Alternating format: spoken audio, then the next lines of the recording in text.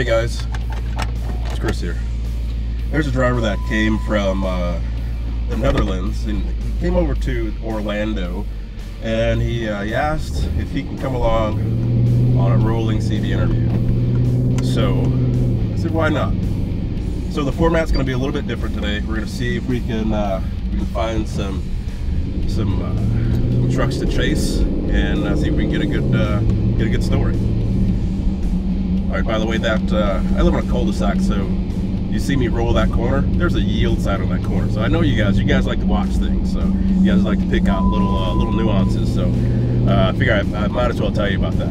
All right. So uh, William doesn't know that cameras are going to be inside the car today, so um, we'll probably you know pick up a little bit where he tells me about what he does over in, uh, in the UK and uh, some of the things that he deals with as we uh, go out and find some uh, some trucks to chase.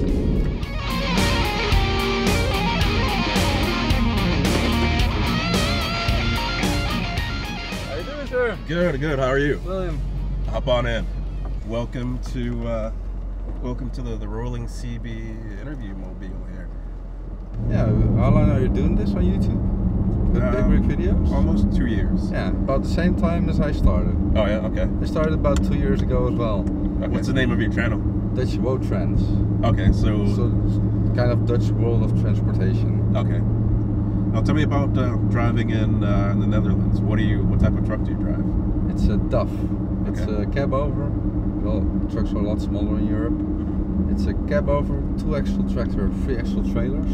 Bit different uh, configuration than here. Mhm. And uh, I have a uh, PACCAR engine in it, 11 liter, Okay. uh, 440 horsepower.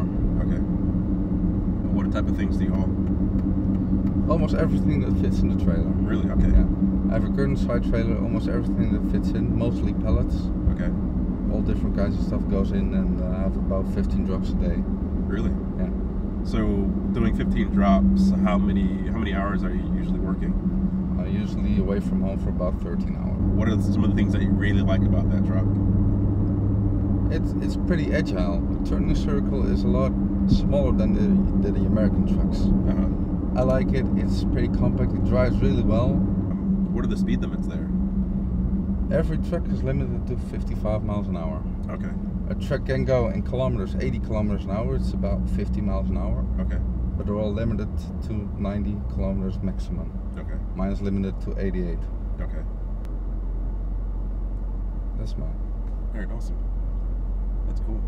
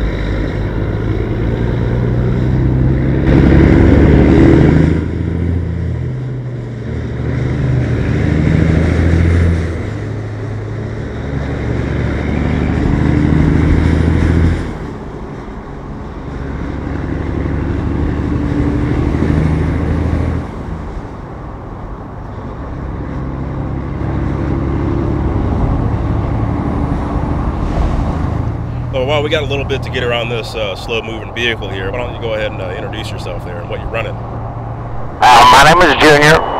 I'm from Henrietta, Oklahoma. Uh, they call me Stroker. Running a 359 short hood Pete, 322 inch wheelbase, four and a quarter B model cat, no air to air, 13 double over, 306 two speed rear ends. When I met you there briefly in the, in the parking lot of the Chrome shop, you're telling me some things about the truck and how long you had it for. What have you been doing with the truck? I've had the truck for quite a while. I haul cattle with it out of Oklahoma there. I'm originally from Missouri by way of Arkansas and Texas. Ended back up in Henrietta, Oklahoma, right in the middle of cow hauling country. Do you normally find yourself coming this uh, this direction to haul cattle? Well, summer months they do the Florida cattle. I call them swamp cattle, but they move, start moving them down here a little bit out the 4th of July, and they run pretty hot and heavy up until about October, November. Then it kind of slacks off. But rest of the time, I pretty much run the Midwest up there, Kansas, Oklahoma, Missouri, and Texas, a little bit of Arkansas, some New Mexico. I do that in summertime, you know, like I said, I come down here and run these back up into the panhandle. All right, 10 4. Well, uh, when I pulled into the parking lot there, one of the first things I saw was your truck parked there along the side. It caught my eye. Uh, what are some of the things that you've done with the truck, and how many miles have you driven with that truck? This truck has 7,698,267 original miles on it. Uh, it's been painted once. It's got solid cherry floors in it. It's got two-tone leather interior in it. Um, I've stretched it out, had the frame x-rayed, everything aligned on it. You know, it's I've taken care of it. It's fed the family for a day or two. Well, it looks like the, a little longer than a day or two there. Well, I've been in this industry since, let me see, I drove my first truck in 1977, done some time in the service, and been at it ever since. What are some of the things that came original in the truck, and then what are some of the things that you've done to it? Well, the truck come out original with the four and a quarter B model cat.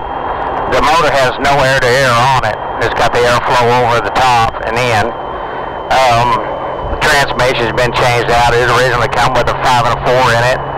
The rear ends have been changed out in it. Uh, it's got a low leaf air ride suspension. It's been stretched out. You know, of course, it was painted. Done the interior myself. Done the floors myself. Uh, I've had my hands on pretty much everything you see. Now, this is the only truck that you've owned over that time? No, absolutely not.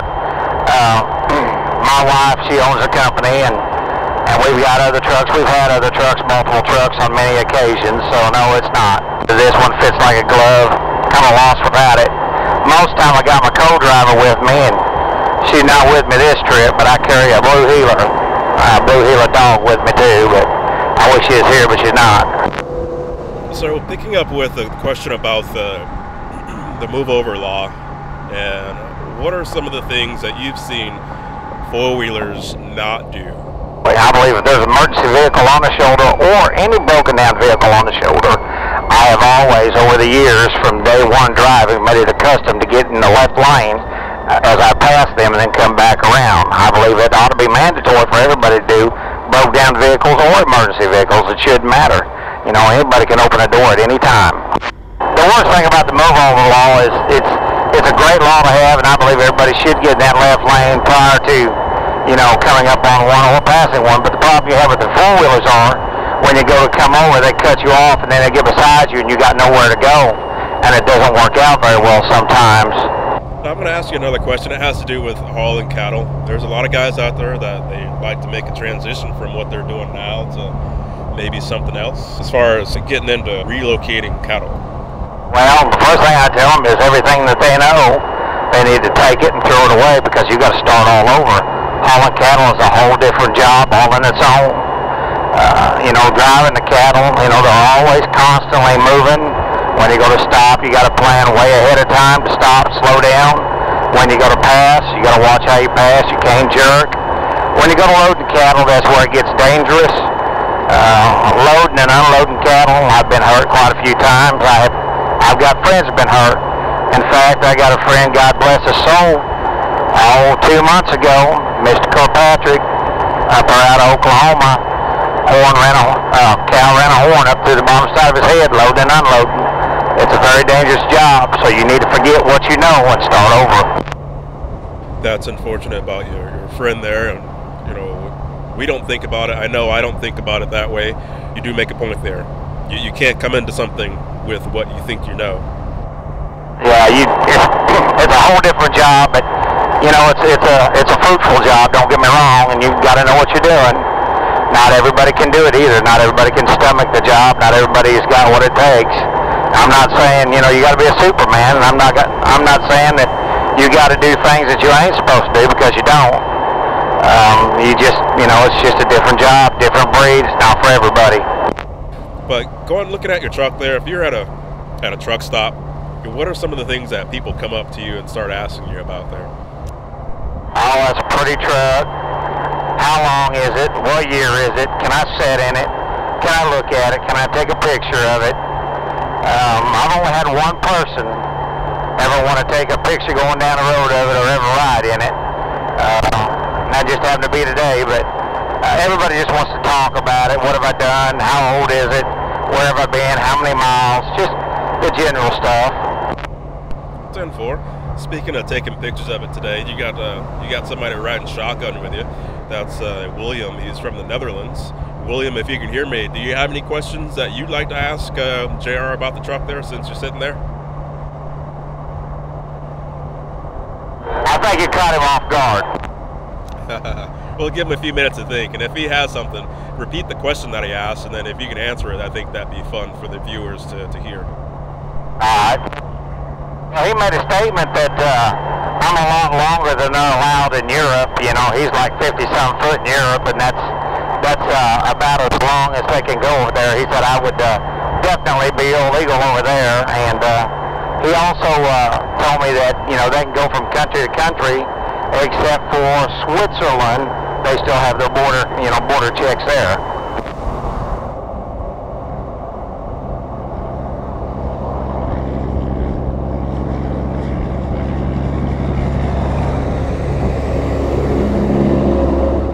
he asked question. He goes, "How do I deal with extreme traffic in and in and out of and around the cities?" Well, it's simple. I always slow down about five miles slower than the speed limit. Relax, don't force it. Let everybody go by. Sit there. Try not to get in the right lane. Try not to get in the left lane. Try to get right down the middle and just ride through town and watch way out in front of me on a distance. But that's how I deal with it. I always slow down and let everybody do the work, and I just ease through. Thanks again for taking a minute to, to come out there on the highway and, and let us get a, a good look at the truck. Appreciate you offering, and, and thank you, and, and I hope to see this on video. And uh, my truck appreciates too. I just I just wish I'd had my dog with me today.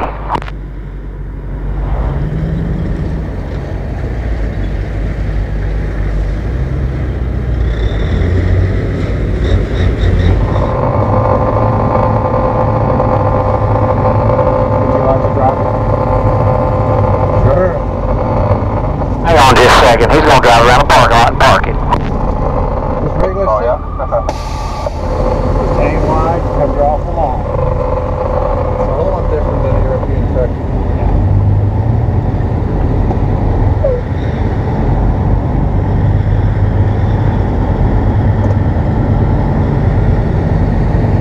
So, uh, just remember you are real long. So if you hit anything, I'm gonna have to sue you clear over Europe.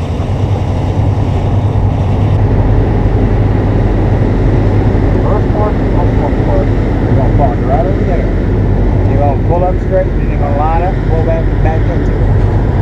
Just get over as far as you can, and then back in, then go forward in.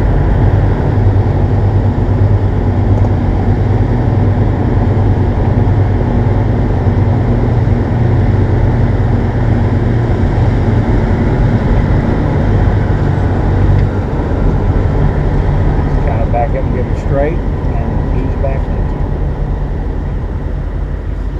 What was it like uh, being able to drive in the, the in the truck along with JR and, and, and see the road from from that point of view? It's a lot different. We have much bigger windows for a better view around. We don't have the big nose in front. Turning circles are a lot smaller with my truck. There's a if I let the last driver drive my truck, Uh-huh. it will be like a car for him. It will be easy. Uh-huh. So he was cool enough to let you uh, park the truck. What was that like? Yeah. Amazing. Yeah. You do have to watch the nose, and, but you don't have the swing out at the end, which we have, and the turning radius is a lot bigger. That's something to get used to. Okay. This is completely different. It's amazing. Uh-huh. Big Lot nose more noise in the cabin. You're feeling like you're feeling like you're driving a real machine. Uh, okay. Because of all the noise that you hear. All the noise, it's everything's big, everything looks good. Europe is more compact, it's quieter, it's more about fuel efficiency and emissions and there's a big difference between a great old truck here or a European truck. Now he told us about his friend that's coming from uh, coming into town. He was about I don't know maybe two hours north, so he explained that his truck was just as cool as his. So uh, how about we go up and see if we can catch up with him and uh, get another rolling interview? That would be great. Awesome. All right, if you're ready, we can go ahead and ease on out. Okie doke. How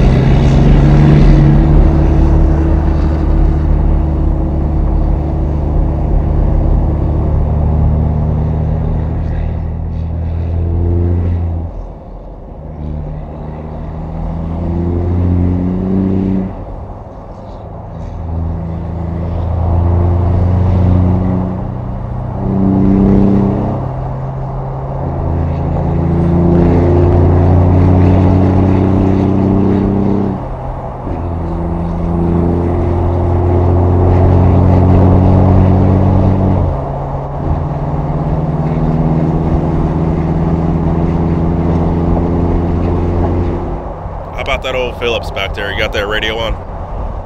Yes, sir, go ahead. Well, uh, I appreciate you uh, pulling in there to that uh, truck stop there and letting me uh, tag along with you as you head down toward the old 75 Chrome shop there. Yes, sir, it's my pleasure. We spent some time with uh, with one of your friends there on the road, Mr. Uh, J.R. Richardson, and he said that you were coming down this way, so we figured we'd uh, head up the road a piece and catch up with you and and uh, check out that old truck that you're running. Great. I sure appreciate it. Uh, yeah, I'm going down here to see how he's doing. Uh, what uh, what do you got there for a truck? Got a 2005 model flat top Peterbilt. Been customized a little bit. It was a stand up. I put a unicap on it and uh, stretched the frame a little bit. Made it easier to ride. A little bit of motor work, a little bit of paint. Make her easy on the eyes. 10 4. Well, yeah, yeah, it seemed like you're kind of kind of skimpy on those details there. A little bit of paint, a little bit of motor work. Boy, I tell you what, when we got on the highway, it didn't seem like you did got a little bit of motor work going there. Steve Bradford up there out of Jetmore, Kansas, done my motor. He's uh, he's really, really, really good with a Caterpillar motor. He does a fantastic job. Man, I just can't say enough about him. Well, 10 4. What do you got for a motor in there, and what do you uh, what do you think you're putting down to the ground? I'm putting 1140 to the ground, and uh, I got a Caterpillar that's been Catlepuller Inc. certified, and uh, it's got a cam, big lifters, uh, bully dog, manifold, and turbo. Uh, set up right. Uh, the ECM has been adjusted to, for fuel economy and power, which uh, I got both. Uh, it just it makes life a whole lot easier, you know. Pulling a load of cattle, they're a little oh, a little heavier once in a while. It makes life easy. Well, with 1140 horsepower, what's the fuel economy? Well, I'm getting 6.7 miles a gallon. Uh, I can slow down and, you know, uh, not, I guess, pull so hard. But, uh, shoot, 6.7, that's not bad for me. I started out at a 3.1, So uh, I'm double my fuel mileage on this motor, so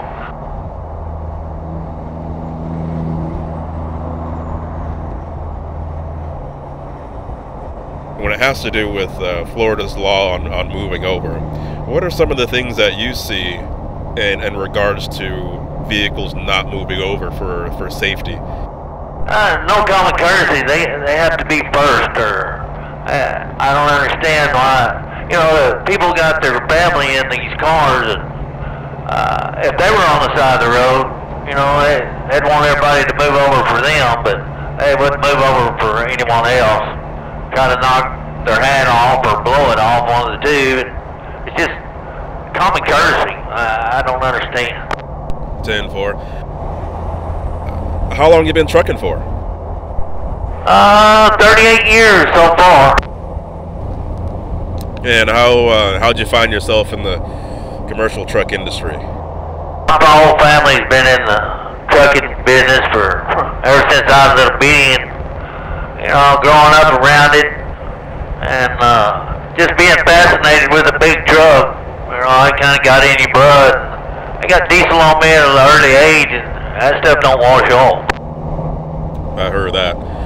For driving for 38 years, would it all was it always cattle that you hauled? No, sir, I, I've hauled a little bit of everything, uh, except uh, gasoline and mobile homes. I don't like changing tires, and I don't want anything that'll blow up on me. Well, I don't blame you one bit there. Yeah, I've hauled detached, reefer, dry van, uh, RGN, removable gooseneck, uh, flatbed. I, I've done a little bit of everything. My, my family wanted me to be able to, when I was young, if I walked up on a trucking outfit that I wanted to work for, if they said, can you do this, uh, I can do it. And there's a lot of folks that are out here that are doing well by themselves, and you know, they're they're they're getting the job done, and they're they're able-bodied, but it's apparent by the the camera that we have in the cab there that that that uh, you'd have to tell me what you'd want to be classified as or, or thought of as, but you you seem uh, you seem different from the other drivers that are out here trying to work. Yes, sir, I'm, I am unique. Yeah, tell me about some of the challenges that you've been able to overcome.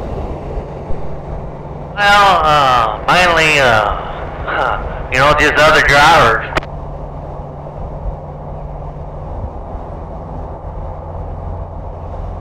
Now, when you say uh, dealing with other drivers, you know, explain that if you if you will. A bit of questions, you know, uh, a lot of them are afraid to ask me anything, and most of them not. You know, they'll say, you know, how do you, you know, how do you do this? And I try to explain them, you know, if you ever had a two-stick, I had a two-stick transmission for a long time, and I was in an accident May 21st, 1992, and I lost my right arm, but I've been reaching through the steering wheel for quite a few years with that six and a four transmission, so it, I kind of adapted real easy.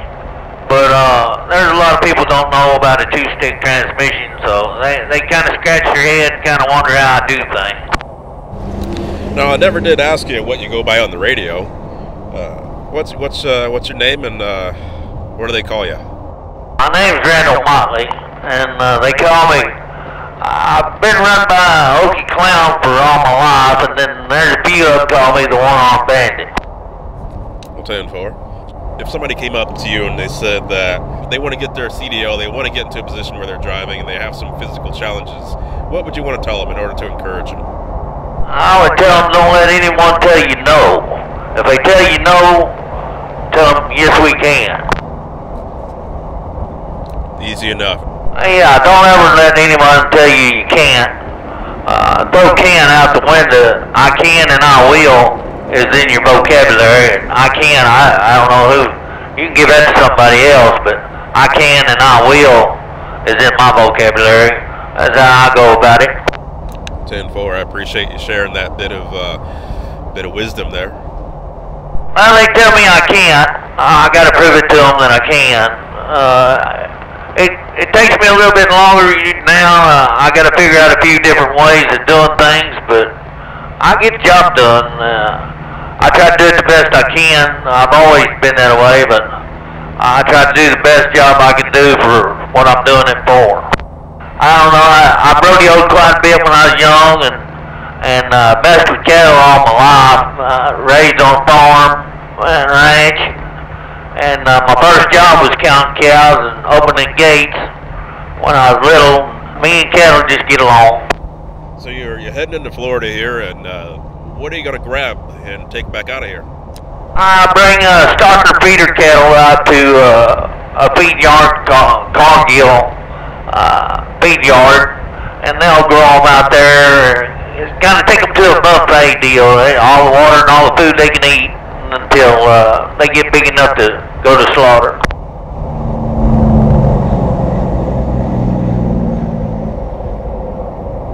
That's what I was talking about on that radio deal. Ain't nobody said anything about that. No, we are on. We got to give them a little bit of credit. We're on. We're on 22. I mean, if have been on the other channel, they still, I don't know. I, I've run up on stuff like this before, but, you know, they won't ever even say nothing. Yeah, 10 4. Now, well, let me, since we're on that topic there, and we got us a little bit of a parking lot here, uh, there were some incidents last year uh, up there in the, in the northwest, uh, not quite the northwest, but it was wintertime, and there's a bunch of pileups and whatnot. And a lot of people said that if the radios would have been on, uh, maybe some people would have uh, would not have fared so badly. What do you think about that there?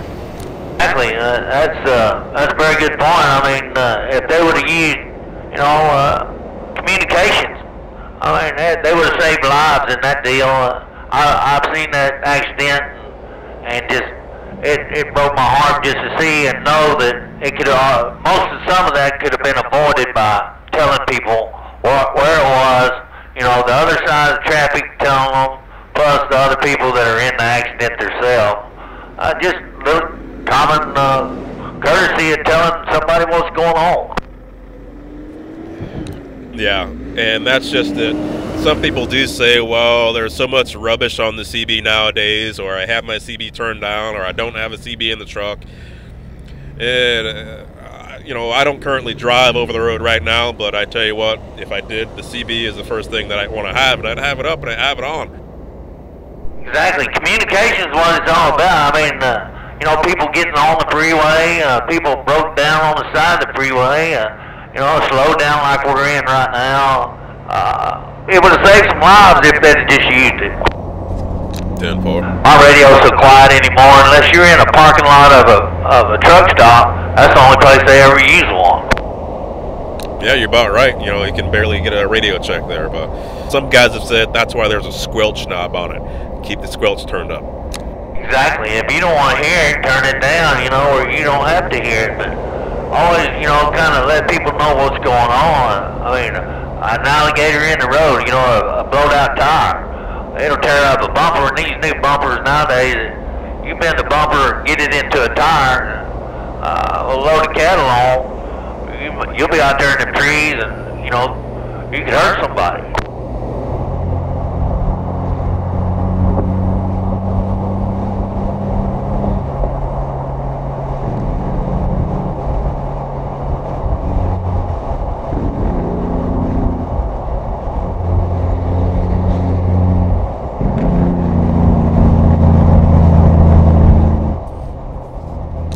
Tell you what, I wish we had uh, a couple more miles to roll along with you to ask you some more questions there.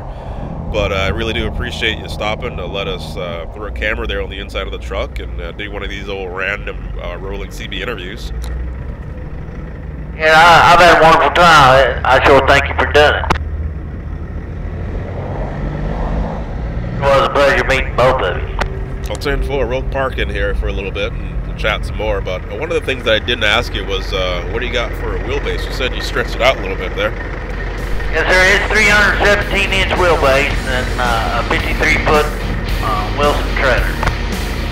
Ten four.